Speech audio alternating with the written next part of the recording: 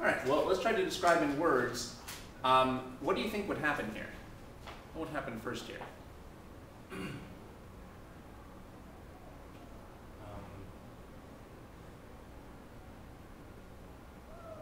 What type of mechanism would you expect might happen here? uh, SN1? We have a secondary alpha carbon, and neutral oxygen is a poor nucleophile, so it really has to be SN1. Okay, so what would happen first? Um, the leaving group is going to leave. Right, and what's the substrate going to look like immediately after the leaving group leaves? It's going to be, uh, it's going to be a carbocation. Right. Okay, now, based on what we talked about last time, you would now expect that the water would attack this carbon. However, um, it turns out that's not the only thing that can happen here. That's one of the things that can happen, but there's something else that can happen here too, which is that we can have a hydride shift.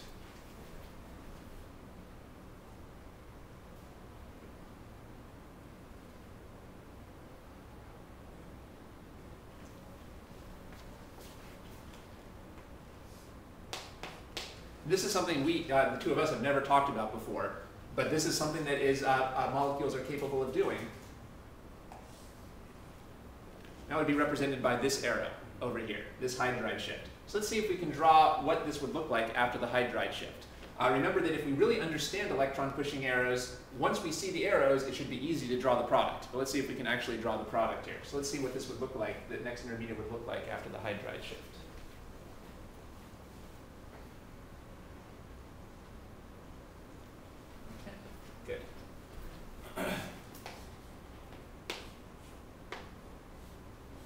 The key point is the arrow here tells us that we're breaking the bond between the carbon and the hydrogen. And it tells us that the hydrogen is forming a bond to this carbon, like this. Now actually some people might not even draw in the hydrogen here because it's a hidden hydrogen, but maybe it's a good habit to draw it in since it's the whole focus of the reaction. The important thing though is to focus on the charges. We always have to change two charges, the initial tail and the final head. I think it's pretty clear that this uh, carbon is gaining electrons, so it becomes neutral. But who lost the electrons? Well, this carbon over here lost the electrons.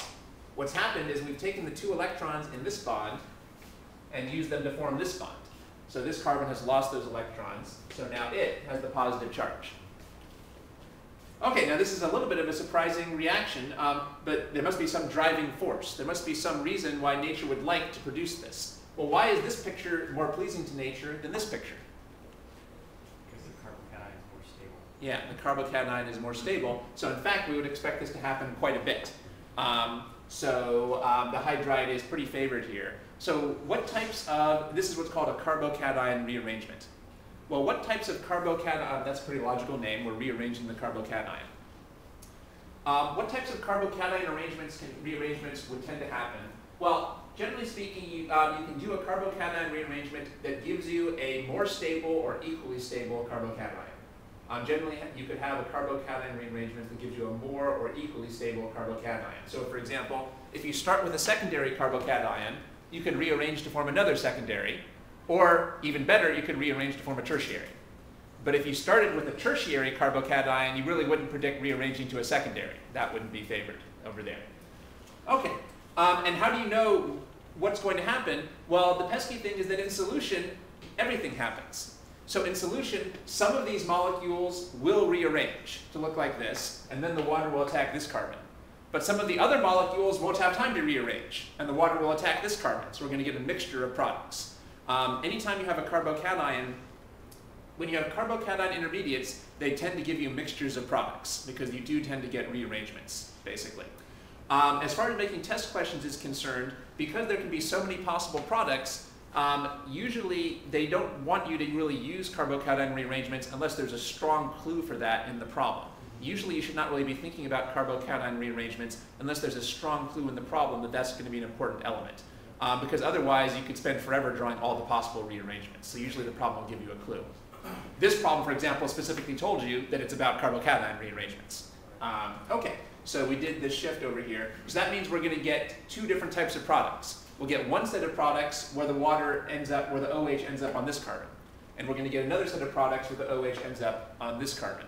Um, what would be the major products? Uh, I don't know. Maybe this one because this is the more stable carbocation. Uh, maybe. Uh, but you would get a mixture of both in this case. The important thing though for this problem is just to be able to predict the reasonable carbocation rearrangements. This is a hydride shift uh, over here. That makes sense? Wouldn't the tertiary car- carbon, would that be a better product? Excuse me? Wouldn't the tertiary carbocation be the major product here? Uh, yeah, that's, that's what I was, that's what I was guessing before. I was guessing that the major product would be the waters ending up over here. However, I think you would still get a substantial amount of waters on this carbon as well, because sometimes the water just gets in before the carbocation has a chance to rearrange, especially if the water is the solvent, because it'll be tons of water molecules. There might not be time for the rearrangement to happen. But then we would definitely see a substantial difference between the tertiary carbon and the primary carbon, ca- carbocation. Ah, now remember, we can't make primary carbocations.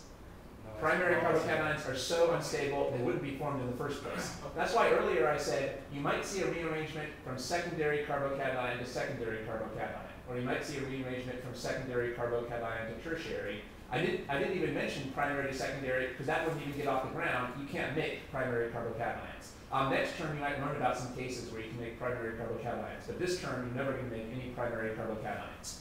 Um, so you can't really do uh, rearrangement. There, there is a kind of rearrangement with primaries. Um, I don't know if your course is covering that, but there isn't. You don't, you don't really have a standard rearrangement with primary carbocations because you can't form a primary carbocation in the first place. Um, it's not stable enough. You can only form secondary and, or tertiaries even in the first place. Okay. Um, so we can look at one or two of the examples he assigned here, if you like. Yes, Okay. thanks. Now that we've got the basic idea.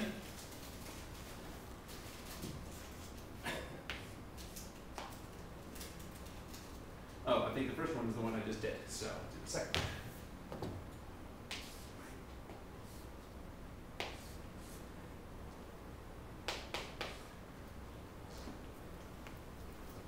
So here's a carbocation, and we want to discuss, uh, they're just asking to show a rearrangement suggesting a uh, rearrangement here. Um, well, there's one thing to consider is this. Now, generally, you can only bring in a hydrogen from an adjacent carbon. So there's no way we can bring in, say, this hydrogen. That's too far away. That's generally not going to happen. That would be a 1-3 shift. That's usually too far. You can only do what's called a 1-2 shift. That just means on adjacent carbons. All right. Um, well, these are adjacent. Um, is this actually legal or illegal? Illegal. Why illegal? Because it's on a, it's on a uh, first degree carbon. Yeah, if we did this, it would produce a primary carbocation. But we are not allowed to produce primary carbocations. This term, anytime you have a picture that looks like this, you must have made a mistake. Not even for a millisecond are we allowed to have a primary carbocation. Nature just does not allow that to happen. It's not stabilized enough. We can only make secondary and tertiary carbocations. So, um, so you need two things for a rearrangement. First of all, they have, the hydrogen has to be on an adjacent carbon, but it also has to be producing at least a secondary carbocation. All right, so this doesn't satisfy that. So this is not allowed. And that stays put. In the particular one, it's not, it's not gonna try to steal the hydrogen, it's just gonna. This hydrogen will stay put. it's gonna go That's right. So let's consider whether we can take a hydrogen from this carbon. No, because it's quaternary, there are none. However, we haven't discussed there can also be carbon shifts, also called alkyl shifts.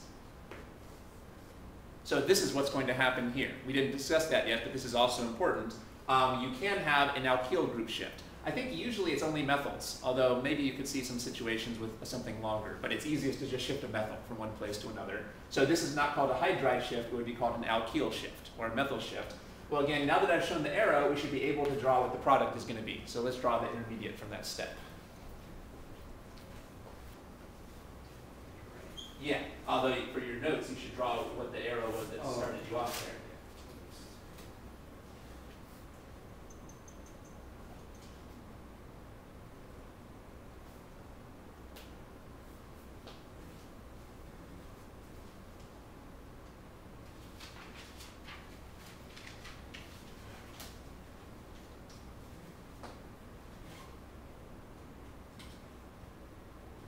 Right, that's the most important part, to put in that chart. Okay, good.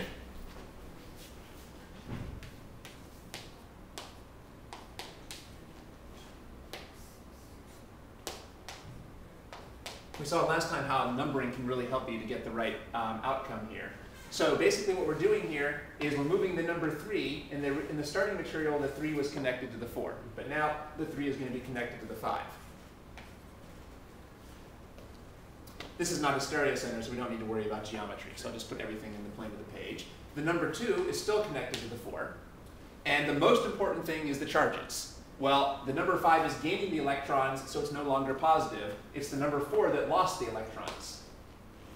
Here's the electrons that moved, so we've got to put in that positive charge. Remember, the only reason we're drawing these pictures in the first place is to figure out where the charges are. That's the reason we're drawing the pictures. That's the reason we're interested in carbocation rearrangements, because it rearranges where the positive charge is. That's the whole point of the picture.